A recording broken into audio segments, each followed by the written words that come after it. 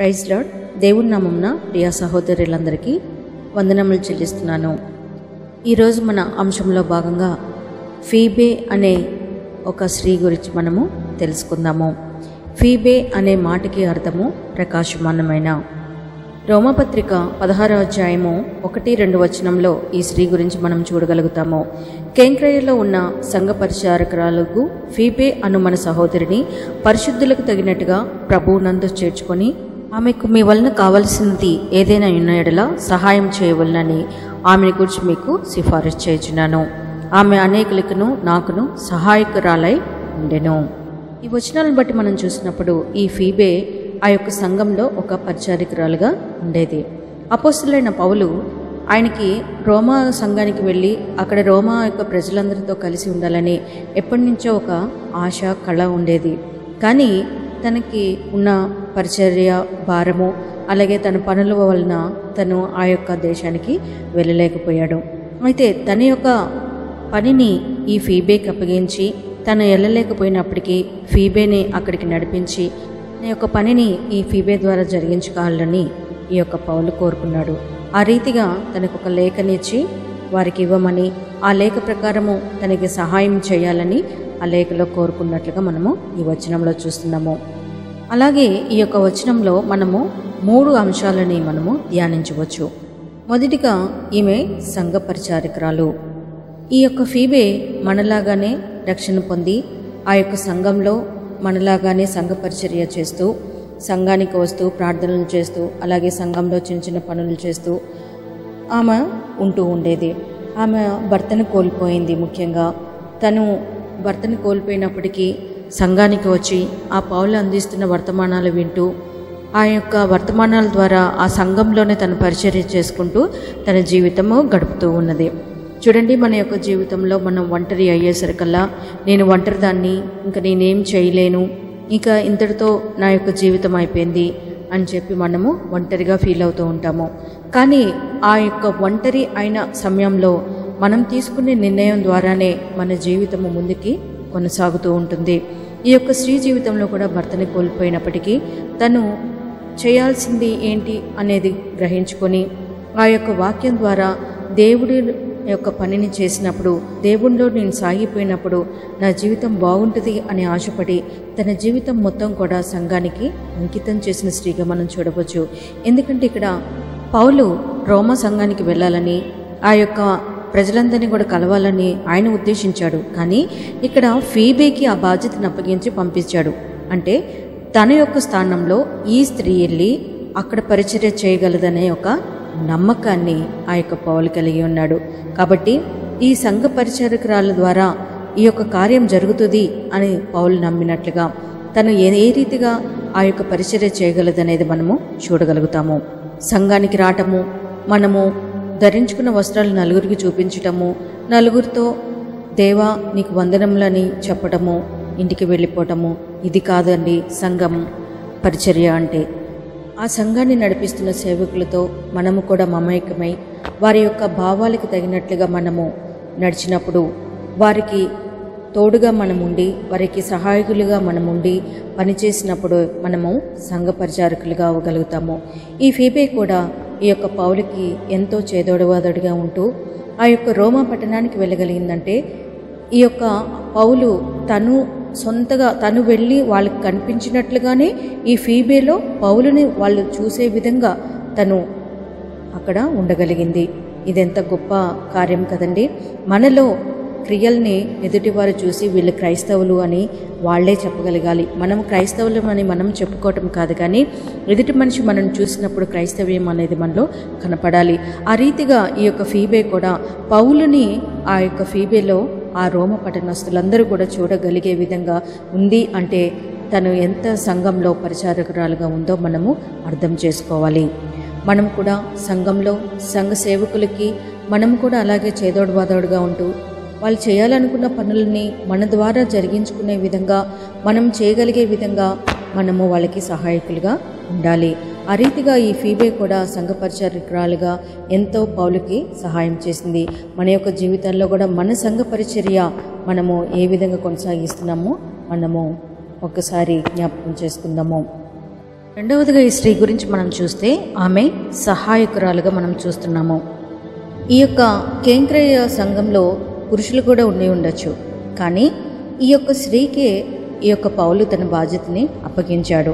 మరి అప్పగించిన బాధ్యతని నేను స్త్రీని కదా ఆ యొక్క రోమా దేశానికి వెళ్ళాలంటే ఎటువంటి పరిస్థితులు మధ్యలో ఎదురవుతాయో తనకి తెలిసి ఉండొచ్చు. ఈ కాలంలో మనకి ప్రయాణం అంటే చాలా సదుపాయాలు ఉన్నాయి కానీ ఆ కాలంలో ప్రయాణం చేయాలంటే కేవలం ఓడలు లేదన్నా పడవల ద్వారానే ప్రయాణం చేసేవారు. అది కూడా పురుషులు అది కూడా చాలా తక్కువ సంఖ్యలో ఆ యొక్క పడవల్లో ప్రయాణం చేస్తూ ఉండేవారు. కానీ ఈమె ఎవరి సహాయం లేని ఒంటరి స్త్రీ ఒంటరిగా తన ప్రయాణాన్ని కొనసాగించేందుకు తన యొక్క పనిని తీసుకుంది. మరి ఆ యొక్క పౌలు అప్పగించిన పనిని తను చేస్తానని తనకి సహాయం చేయాలి పౌలుకి ఎలాగైనా మరి తను వెళ్ళలేని పరిస్థితి ఉంది.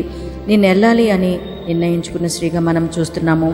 చూడండి మన యొక్క సంఘాలలో మనం సహాయం చేయాలంటే ఎన్నో రీతిలుగా మనకి పనులు ఉంటూ ఉంటాయి. కానీ మనకి ఎందుకులే అనుకుంటే మనకు ఏ పని కూడా మనము ఆ యొక్క సంఘంలో చేయలేము. మనము సహాయం చేయాలి అనుకున్నప్పుడు మనము తీసుకునే నిర్ణయాన్ని బట్టే మన యొక్క పనులు ఆధారపడి ఉంటాయి. ఎవరేమనుకుంటారో నలుగురు నా గురించి ఏమనుకుంటారో నా కుటుంబం ఏమనుకుంటుందో నా పక్కవారు ఏమనుకుంటారో ఇలా ఆలోచించినంత కాలము మనము జీవితంలో సాగలేము. ఈ స్త్రీకి భర్త లేరు. మరి బయటకు వస్తే నలుగురు ఏమనుకుంటారో మరియు పౌలు అనే ఒక వ్యక్తి ద్వారా నేను నడుస్తున్నాను మరి ఎవరు ఏమనుకుంటారో అని తను ఆలోచించలేదు. నేను కేవలం దేవుని పని చేస్తున్నాను దేవుడు నన్ను చూస్తున్నాడు కాబట్టి నేను ఈ యొక్క సేవ నేను చేయాలి దేవుని సేవ చేయాలి అని చెప్పి దేవుని యొక్క పని చేయటానికి ఆ యొక్క సంఘంలో పరిచారికరాలుగా ఉంది. అలాగే పౌలు అప్పగించిన పనిని తను చేస్తానని తనకి సహాయం ఎలాగైనా చేయాలి. తను చేయలేని పనిని నేను చేసి తనకి సహాయం చేయాలని నిర్ణయం తీసుకున్న స్త్రీగా మనం రెండవదిగా చూస్తాము. పౌలు తనకిచ్చిన ఆ యొక్క లేఖను తీసుకెళ్ళి రోమా సంఘానికి తను అప్పగించాలి. ఆ ప ఆ యొక్క లేఖ ద్వారా ఆ యొక్క రోమా యొక్క పట్టణంలో ఎంతమంది అయితే క్రైస్తవులు మారినై ఉన్నారో తనకు తెలుసు. అందుకని ఈ లేఖ ద్వారా ఏదో ఒక అద్భుతం జరగబోతుంది. కాబట్టి ఈ యొక్క సహాయాన్ని పౌలుకి నేను చేయగలగాలని తను నిర్ణయం తీసుకుంది. మరి తన యొక్క ప్రయాణిస్తున్న ప్రయాణము ఆ యొక్క పడవల్లో మరి మగవారి మధ్య ప్రయాణం చేయాల్సిన పరిస్థితి. అలాగే వాళ్ళు ఏమనుకుంటారో ఎలా అవమానిస్తారో తనకి ముందుగానే తెలుసు. అయినప్పటికీ తను దేవుని పని చేయాలి మరి ఈ యొక్క పౌలుకి సహాయం చేయాలనే ఒక ఉద్దేశం కలిగిన స్త్రీగా మనం చూస్తున్నాము.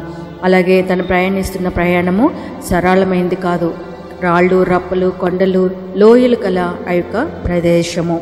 ఆ యొక్క ప్రదేశం గుండా తను ప్రయాణం చేసి తనకు అప్పగించిన ఆ యొక్క ఉత్తరాన్ని రోమలో ఉన్న సంఘానికి తను అప్పగించాలి. ఆ యొక్క పనిని చేస్తానని నమ్మకంతో తను తీసుకొని తనకి సహాయం చేయగలటానికి సిద్ధపడింది. మన యొక్క జీవితాల్లో కూడా మన యొక్క సాక్ష్యాలు మన జీవితంలో జరిగిన అద్భుతాలు ఆశ్చర్యకార్యాలు ఇవి చాలండి మనం ప్రతి ఒక్కరికి దేవుని యొక్క పనిని మనం నలుగురికి పంచడానికి. మనము దేవుని పని చేయాలి దేవుని యొక్క పనిలో మనము సహాయకులుగా ఉండాలి అనుకుంటే ఏదో చేయాల్సిన అవసరం లేదు. కేవలం మన సాక్ష్యం ద్వారానే అనేక మందిని మనము దేవుని వైపుకి తీసుకురావచ్చు. నేను ఏం చేయలేను నేను ఒంటరిని ఈ యొక్క లోకం నన్ను ఏమంటుందో అని ఇలాంటివన్నీ పక్కన పెట్టి నేను దేవునిలో కొనసాగాలి అని మనం అనుకున్నప్పుడు తప్పకుండా మనము దేవునికి మనము సహాయం చేయగలుగుతాము దేవుని సంఘానికి మనము విధేయులుగా ఉండగలుగుతాము దేవుని పరిచయలో మనము పాలుభాగస్తులుగా ఉంటాము. మన యొక్క సాక్ష్యం చాలండి మన జీవితంలో మనకి చేసిన దేవుడు చేసిన అద్భుతమైన కార్యాలు ఆశ్చర్యమైన కార్యాలు ఇవి చాలండి. నలుగురికి మనం ఆ సాక్ష్యాన్ని మనం ఇచ్చినప్పుడు తప్పకుండా వాళ్ళ జీవితాల్లో కూడా దేవుని వాళ్ళు విశ్వసించగలుగుతారు. మన చిన్న సాక్ష్యమే ప్రతి ఒక్కరి జీవితాల్లో అద్భుతమైన కార్యాలని జరిగిస్తుంది. ఇక్కడ అందుకనే సామెతలు పదకొండవ అధ్యాయము ఇరవై నాలుగవ వచనంలో ఏమని రాయబడింది వెదజల్లి అభివృద్ధి పొందువారు కలరు. తగిన దానికన్నా తక్కువ ఇచ్చి లేమి వచ్చేవారు కలరు. చూడండి మనం వెదజల్లి అంటే మన యొక్క సాక్ష్యాన్ని నలుగురికి పంచడం ద్వారా అభివృద్ధి పొందగలుగుతాము. అంటే మన యొక్క సాక్ష్యాన్ని నలుగురికి ఇవ్వటం ద్వారా వారిని కూడా దేవుళ్ళో మనము ఎదిగింప చేయగలుగుతాము అలా కాకుండా నాకెందుకులే నా పని కాదుగా నేను చెప్తే నలుగురు ఏమనుకుంటారో అనే భావంతో మనం ఉన్నాము అంటే నలుగురికి మనం చెప్పకపోవటమే కాదు కానీ మనము కూడా ఆత్మీయోగ స్థితిలో పడిపోతామంటాం.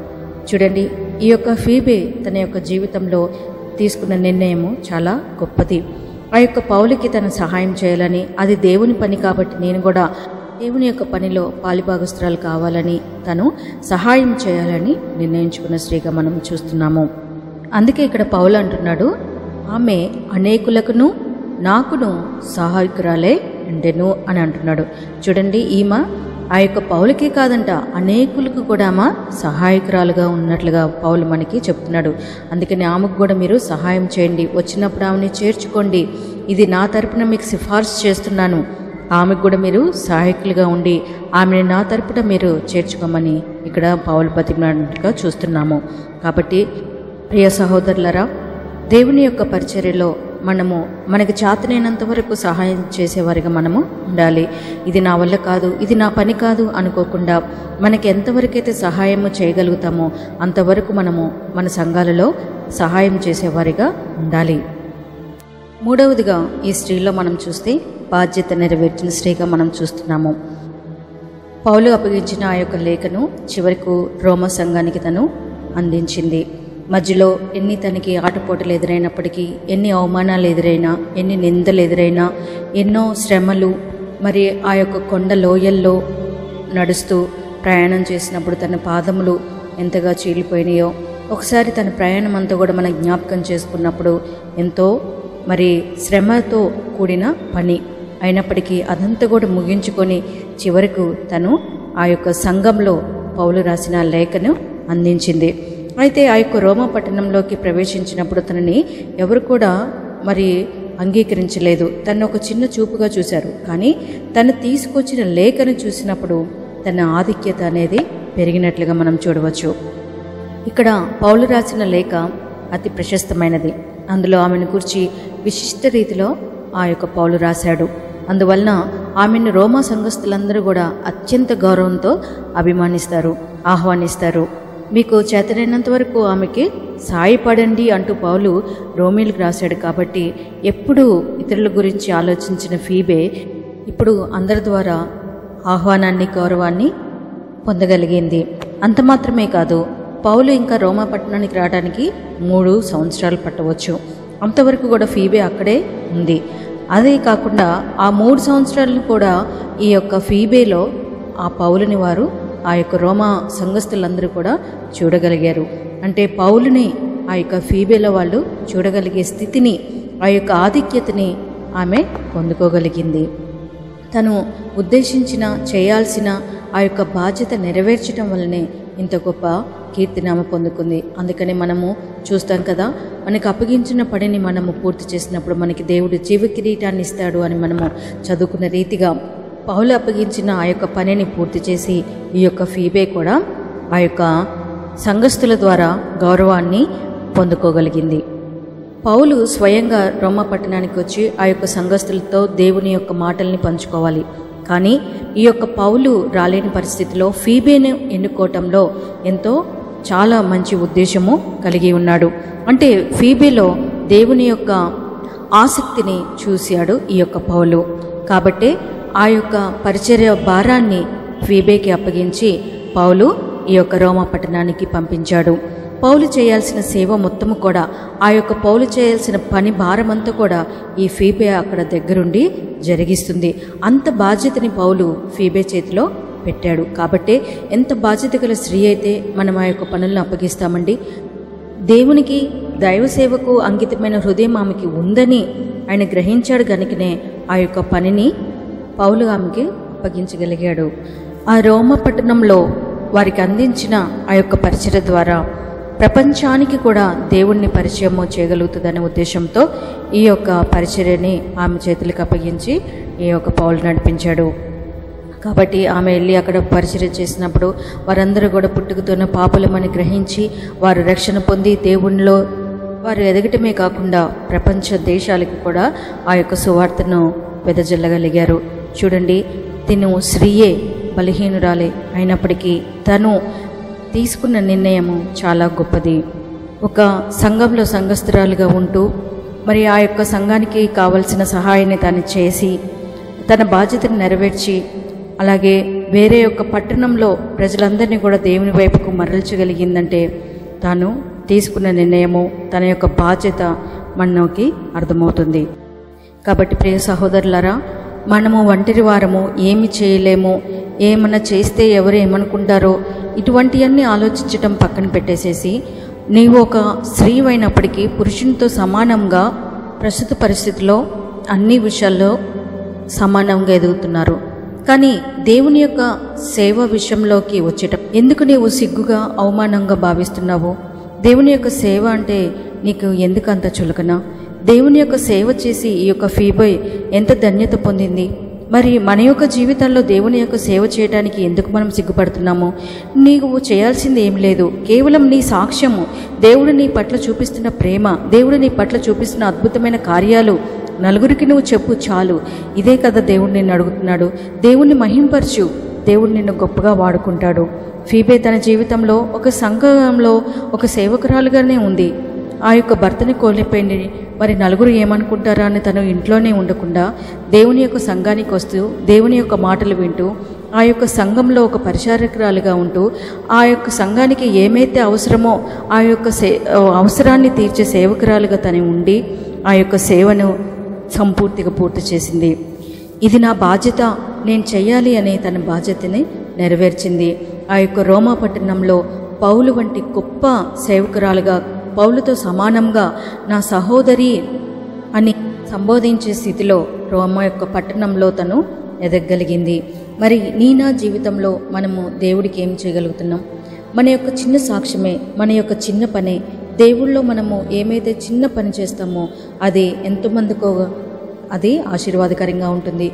అందుకనే వెదజల్లి అభివృద్ధి పొందువారు కలరు అంటున్నాడు. అంతేగాని మనం దాచిపెట్టుకుంటే నలుగురిని అభివృద్ధిపరచుకోకపోవటమే కాకుండా మనము కూడా దిగజారిపోతూ ఉంటాము.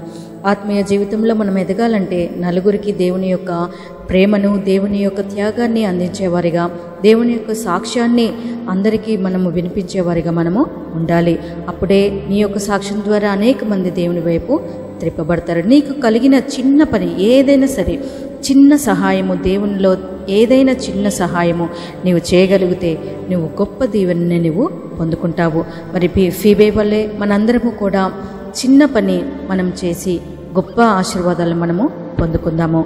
మరి ఈ ఫీబే ద్వారా మీ యొక్క జీవితాలలో ఈ యొక్క వాక్యము ఫలించాలని ఫీబే వలె మీరు కూడా సంఘంలో మీకు చేతనైన సహాయము అందించే స్త్రీలుగా ఉండాలని కోరుకుంటూ ఈ వాక్యంను దేవుడు దీవించిన గాక. ఆమె ప్రార్థన చేసుకుందాం. ప్రేమగల తండ్రి నీ పాదలకు స్తోత్రం తండ్రి. నిజమేనైనా ఫీబే జీవితం ద్వారా మా జీవితాలతో మాట్లాడేవు ప్రభా. అయినా మేము సంఘానికి వెళ్తున్నాం. సంఘంలో విశ్వాసులుగా ఉంటున్నాం కానీ సంఘంలో తండ్రి మేము సేవ చేసేవారిగా ఉండట్లేదు ప్రభా.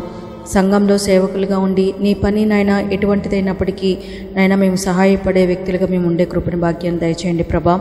మాకు చేతనైనంత వరకు తండ్రి మేము సంఘస్థులుగా నాయన ఉండి మేము పనిచేసే సేవకులుగా మమ్మల్ని ఫీబే వలె వాడుకోమని ప్రార్థన చేస్తున్నాం ప్రభా.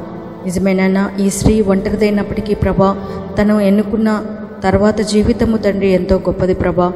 అక్కడితోనే ఆగిపోకుండా నాకు భర్త లేరు సమాజం నన్ను గుర్తించదు అనుకోకుండా దేవుడు గుర్తిస్తాడు నన్ను దేవుని పడి నాకు ముఖ్యము. ఈ ఆఖరి సమయమైన దేవుని కొరకు జీవించాలి అని తను తీసుకున్న నిర్ణయము తన జీవితంలో ఎంతో గొప్ప ఆధిక్యాన్ని ఆయన కలిగించింది ప్రభా. నాయన ఆ యొక్క పౌల ద్వారా రోమా పట్టణానికి వెళ్ళి రోమా ప్రజలందరినీ కూడా దేవుడి వైపు తిప్పగలిగింది ప్రభా. రోమా యొక్క సామ్రాజ్యం ద్వారా ప్రపంచానికే తండ్రి నాయన నీ యొక్క వాక్యాన్ని వెదజల్లే శ్రీగతను చేయబడింది ప్రభా. నాయన భర్త చనిపోయాడని నేను ఒంటరిదాన్నని అక్కడితోనే ఆగిపోకుండా తన జీవితాన్ని కొనసాగించిన ఫిబే వలె మా యొక్క జీవితాలని కూడా తండ్రి ఇక్కడి నుంచైనా ప్రభా నీ యొక్క సేవలో నీ యొక్క పరిచర్యలో మేము ముందుకు కొనసాగించేవారిగా నీ దీవిన ఆశీర్వాదాలు మేము పొందుకునేవారుగా. ఈ లోకం వైపు చూడకుండా కేవలం నీ వైపు చూసి నీ యొక్క ప్రేమని నీ యొక్క ఆధిక్యతని నీ యొక్క కాపుదలని తండ్రి నీ యొక్క ఘనతని మేము పొందుకునే బిడ్డలుగా మేమందరం కూడా ఉండులాగిన సహాయం చేయమని పీబే ద్వారా ప్రతి హృదయాలతో మాట్లాడి నిలబెట్టుకొని వారి జీవితాల్లో కూడా తండ్రి నాయన ఘనతను పొందుకునే భాగ్యాన్ని అనుగ్రహించమని ఏసునామని అడిగి వేడుకున్న మా పరమ తండ్రి. ఆమెన్.